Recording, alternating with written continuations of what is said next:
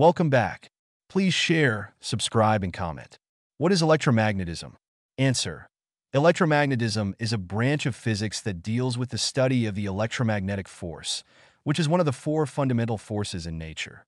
This force is responsible for the interaction between electrically charged particles and magnetic fields.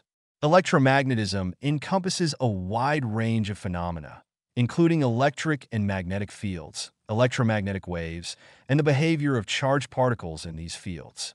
It also includes the study of electromagnetic radiation, such as light and radio waves.